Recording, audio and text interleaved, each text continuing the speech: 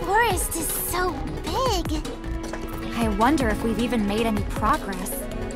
There are so many forks as well.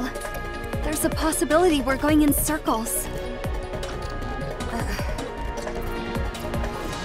should we go this way next? I think so. There's nothing we can base our decisions on. What's wrong? This way caught my attention. Well, let's go that way then. I was just randomly picking a direction. I don't have a reasonable explanation either. It's just a hunch.